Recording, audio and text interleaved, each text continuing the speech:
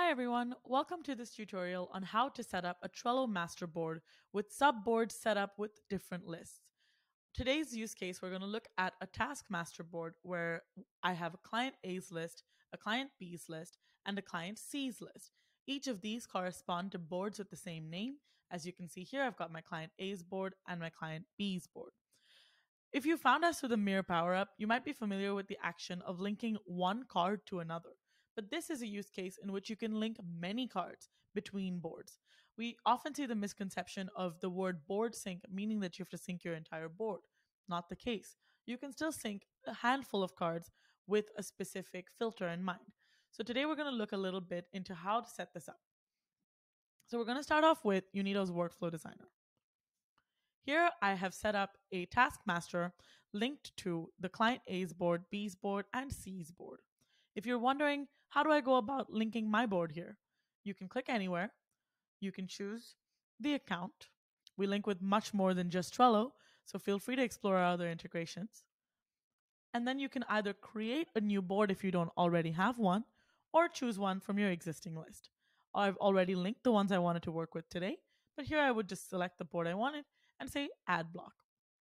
Once you've added your block, how do you set up a flow?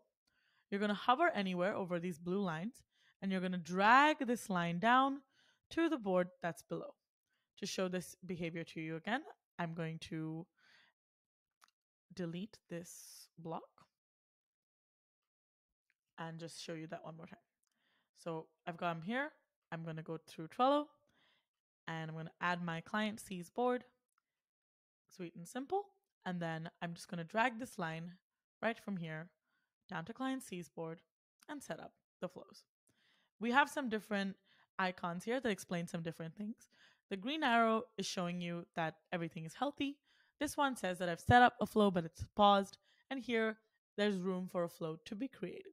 So let's look at how I set up the flow that I've already worked with. So today we're going to link Taskmaster to Client A's board. What I want to happen is that I want cards from Client A's board to live in this list, B's board to come here, and C's board to come here giving me some sort of overview of the work that's happening for all of my clients. You can apply the same use case to different types of setup. For example, you have an executive overview, and each of these lists are a team in your company. Or you have the whole team working on a project together, but each of these lists are a different employee in your team. Or even better, you've got a whole project being worked on, but you wanted people in their own boards to just see their own to do list. So then your project board would be your master board. There's any number of ways you can connect this, and we've designed this tool to be specifically flexible for these kind of use cases. So let's look at how a flow is set up with Unito. So here you can see I've got client A's board syncing one way to the taskmaster board. In the first step, I choose the two boards. We've already done that, so we'll go into the second step. Here we choose the direction of creation. Here I only want cards that I create in client A's board to go to the master board. But I don't want cards I created in the master board to go back. This doesn't mean that updates won't go back from the master board. It just means that new cards won't sync. So here you can control that. You can do it one way, two ways, or one way from the master board to the client's board. Let's look at the rules. This is where we decide what will sync. I want to highlight some important things here. For one, you can see that there's a line item here that says creation date is on or after September 22nd, 2021. That's the day I set up this flow. You might be wondering, I already have all of my cards in the board. I don't only want to sync stuff that I've created after the flow is set up. We know you don't want to do that. We've put this in place as a test mode or a way to protect you while you plan out your settings or your labels. So here, once you're comfortable with how things are set up, feel free to click on this trash can and delete it, and then we're ready to sync all of the existing cards in your board. So for me right now, I want to stay in this test mode. So let's say if a card is in client A's board and the status is open and the creation date is on or after September 22nd and the label is gap, only then do I want it to sync to the master board. I don't need to sync any rules going back because like I said, it's only going one way in terms of creation. I've set the list to client A's board because in this case I have one default, but I'll show you in a moment how to select multiple lists. So now we're going to talk about field mappings. This is where you get into the nitty gritty of what's syncing between the boards. And this is also where you control the direction of updates. So to reiterate, only if I create a card in client A's board does it sync to the master board. But any updates in the master board to the status, to the list, to whether the card is open or closed, a change in label, a change in date will all sync both ways between the boards. Now, to the most important thing, you all must be wondering how do we map list to each other, right? What this means is that if I drag a card from to do to doing to done in one board, I want that also to happen in the master board or to any other board that I'm setting up. So we're going to look at our list to list mapping here. And we're going to click on this little drop down and we're going to see how you can map lists. In my case, I've got in my client A's board to do, doing, and pending approval. But this is not relevant to my master board because my master board only has one list. So I'm going to set it up with that in mind. I'm going to say in my client A's board, I've got doing and I want to stack lists. So I want to stack pending approval and I want to stack another list.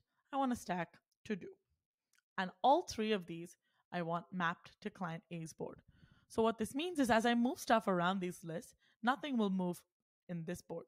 However, if there was a situation in which, let's say this was John's list and there was Bob's list, and you wanted things to move around between them, you could always add more lists, create a separate group, and say to do, and have that go to B's board. So now what happens is if I move my card from doing or pending approval to to do, then that will move from client A's board list to client B's board list in the master board. Hope that makes sense. So that's list to list. If you were wondering about a custom field, you can also map those using the same function. You can say add mapping and you can choose your custom fields. In my case, I've mapped relevant size, which is small, medium, large, to description footer because in our example, we are a merchandising company. So with that, I will also just show you how to do labels. If you wanted a label to sync, you would make sure that the label already exists in both boards. So you've got the yellow label in client A's board. You need the same label to exist in the master board. Verify that they're mapped correctly, and then you're on your way, and the labels will show up accordingly. If it doesn't exist in the master board, we won't create them, and that's why you probably aren't seeing it sync. And that's it to show you how the field mappings work. Just to recap, if you wanted to map any attachments, we have those here. We support subtasks. And if you have anything else you wanted us to explore with unlimited custom fields, do reach out to a member of our team.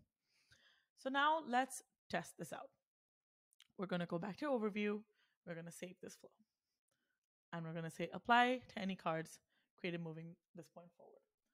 So what did we say our rules were? We wanted a card created in the to-do list. Let's say test card.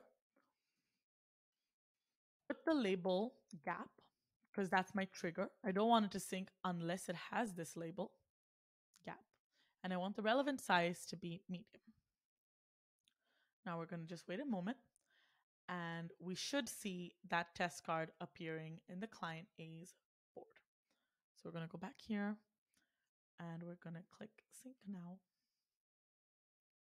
I urge you not to do this too many times, but it's only because I have a few cards that uh, I can do that.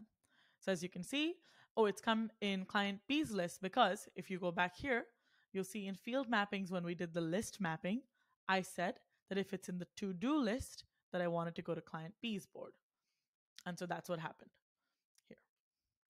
So if you think about it, even in the rules tab, when we set up a default list, this is here set list to, it overrode that because of the field mapping setting. So this is basically how you set up a master board with these as the subboards. And if you want to talk about the differences between the mirror power up and the board sync, primarily the differences are that we don't give you the manual step of having to uh, go here, click on mirror, click on list, set the destination, this and that. You just set it one time. You tell us when I label something with gap or when I assign it to person B, that's when it should sync. And we apply that rule throughout your board. This also means that we're not counting the number of cards you sync and you're able to sync an unlimited number of cards between your boards. This tends to be the better solution for a lot of our customers. And if you had any questions between these two, feel free to email us at support at unito.io and we'd be happy to help you get started. Thank you. Bye bye.